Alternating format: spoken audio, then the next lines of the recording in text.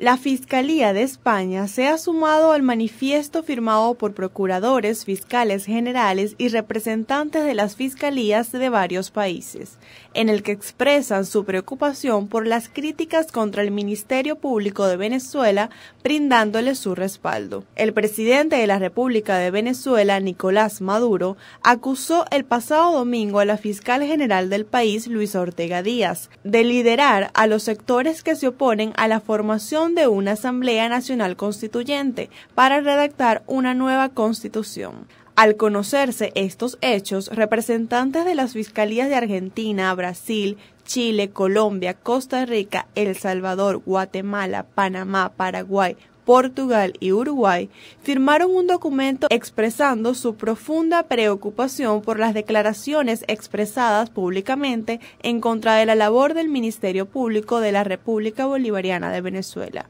España se suma a este texto, en el que sostiene que esa fiscalía está investigando en uso de sus facultades constitucionales y legales los distintos hechos delictivos ocurridos en Venezuela durante los meses de abril, mayo y junio desde nuestra plataforma multimedia Ángeles Bello Noti Minuto.